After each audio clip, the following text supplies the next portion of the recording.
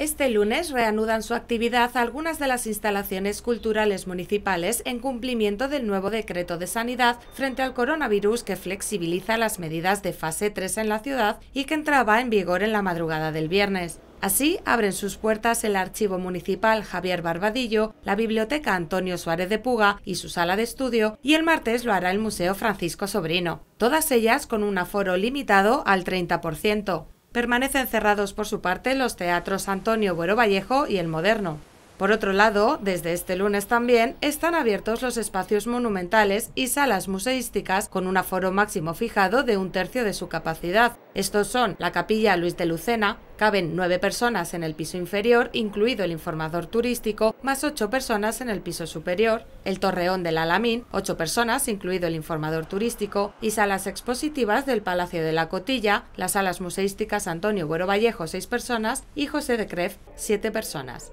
Las visitas guiadas a monumentos y lugares de interés cultural quedan limitadas a grupos de seis personas máximos, incluido el guía turístico habilitado, y las reservas se realizarán mediante cita previa.